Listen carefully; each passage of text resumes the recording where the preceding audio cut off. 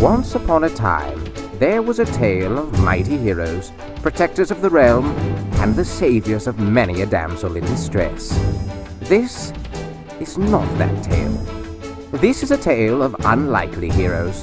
Embark on journeys of not so epic proportions with Sir Jorgin, the noble knight a bit past his prime. This is harder than I remember. Arrowick, the ladies' man and elf rogue. Greek, someone teleported me. And Tarragorn, wise, old, and eh, somewhat senile wizard. You shall not pass.